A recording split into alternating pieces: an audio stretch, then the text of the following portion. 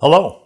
This video covers best practices for vacuum pump operation and specifically avoiding oil suckback.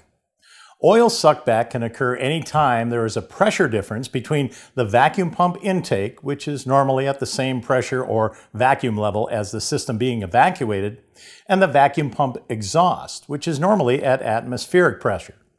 When the pump is connected to a system that is in a vacuum and it is not running, it is possible for the oil inside the vacuum pump to migrate out of the pump and into the system, filling hoses, manifolds, or other gauges connected to the system with vacuum pump oil.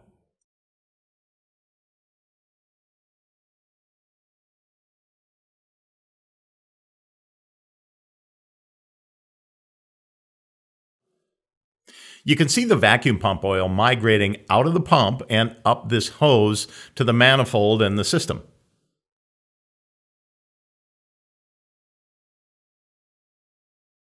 The quality and condition of the vacuum pump oil is an important factor in preventing oil suckback and maintaining good performance. Yellow Jacket vacuum pump oil is specially formulated for low vapor pressure and high vacuum pump efficiency. So we recommend using this oil in all Yellow Jacket vacuum pumps.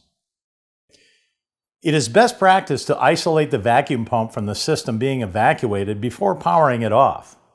The Super Evac pump has a built-in isolation valve which should be utilized.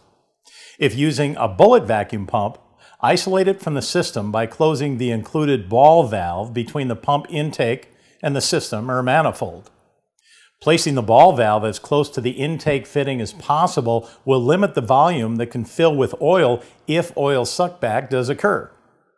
Once the system has been properly isolated from the pump, and right before the pump is powered off, it's best to break the vacuum at the pump intake fitting by either loosening the evacuation hose or loosening one of the intake fitting caps.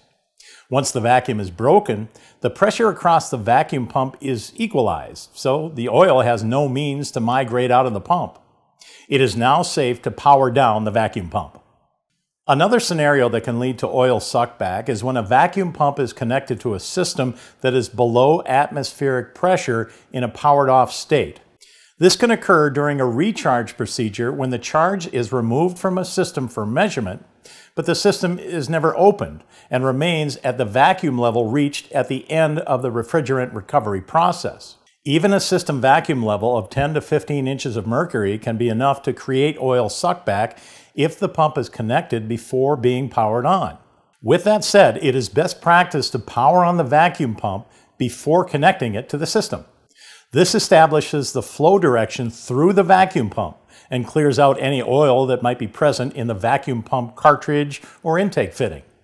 Once the pump is running, it is now safe to open the valve and connect the vacuum pump to the system.